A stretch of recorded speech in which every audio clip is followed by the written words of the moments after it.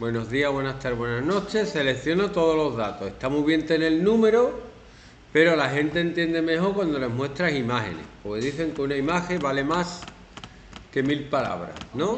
Pues entonces, selecciono todos los datos. Fijaros que aquí tenéis un botón de gráfico, ¿lo veis o no?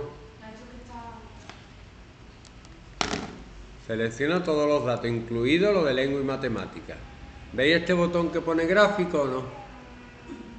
¿Lo veis o no? Sí. Hay gente que no está mirando.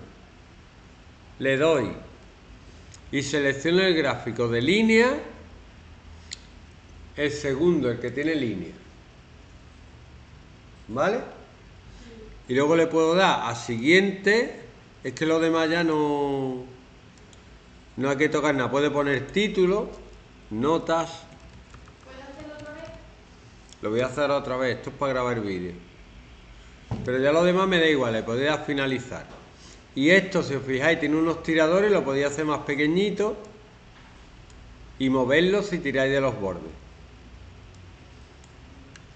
Es que se me corre para el lado y no quiero que se me corra tanto ni sea tan grande. Lo quiero mover un poquito, ponerlo aquí. Y hacerlo un poquito más ancho para que se vea.